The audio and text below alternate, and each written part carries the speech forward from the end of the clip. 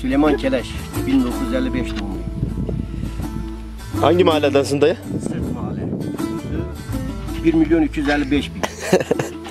Peki dayı e, yayla şenliklerine kaçıncı kezdir katılıyorsun? İlk olarak katılıyorum. İlk olarak Çok, katılıyorsun. Göl, Çok şanssızlık ya da diyelim. Ee,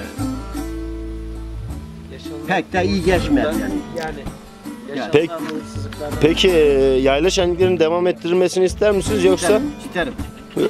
isterim. Daha güzel olmasını isterim tabii.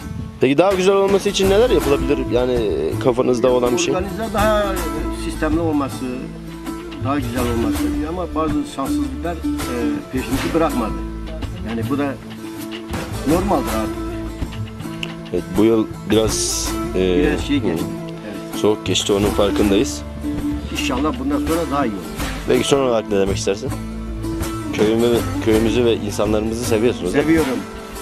Seni de seviyorum. Herkesi seviyorum. Sağ olun. Hala gençleri daha çok seviyorum. Canlarım benim. Canım müfettim.